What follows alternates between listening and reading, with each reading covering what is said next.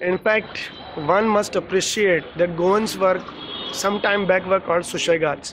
And I always contended and confronted them that Goans are not Sushegat, but Goans are intellectuals, Goans are knowledge workers. Whenever any knowledge based work is given to Goans, Goans have done exceedingly well in that. So I'm indeed happy to see Goans may not be a laborious class. We are knowledge workers. We are people with skills. We are with talent, and all most of the Goans have proved this.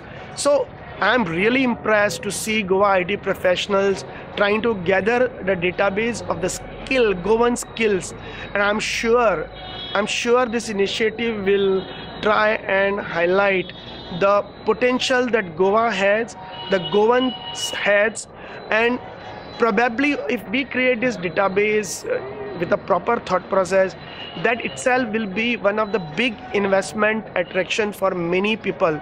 Most of the companies today are looking out for talent and they don't have database of talent. Today infosys wants to come to goa. They would like to know what is the talent available what is the skill available.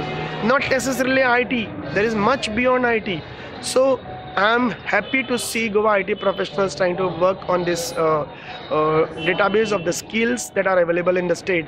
I would have been much more happier if government could have also taken this initiative or at least partnered with them. I'm sure this will be a beginning of the new era of Goa's skill development. So it will be, we can call it as a skill Goa mission. Thank you.